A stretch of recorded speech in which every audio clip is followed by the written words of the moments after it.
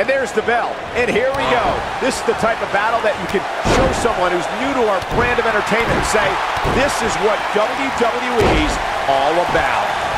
Guys, I'm pretty sure I can watch these women compete each and every week. You know what I like about her? She's approaching this match the same as she would if the title was on the line. She's taking on some offense here. This is not how she drew this one up. If you're worried about her now, you haven't seen many of her matches. She can withstand so much more punishment than this. Running clothesline. Elbow drop. Piercing. Elbow drop. Right to the heart.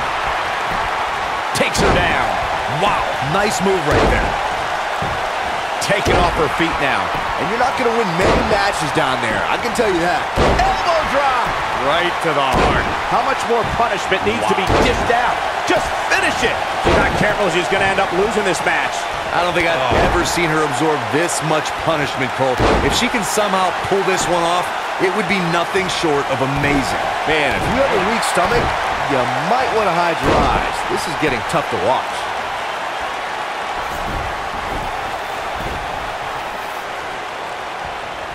Guys, you never know what you're going to see in a match like this.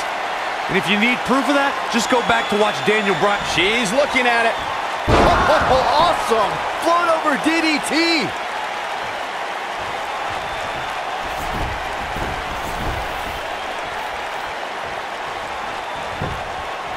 Here's the cover.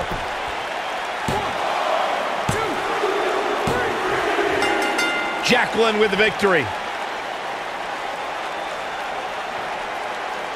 These women put on quite a show. Here's another look. After all that build-up, I gotta say, I expected more from this match, and I don't think I'm the only one.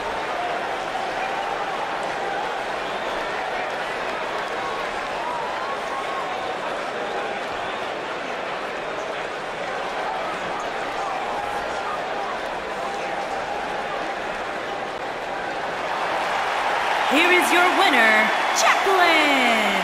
And this one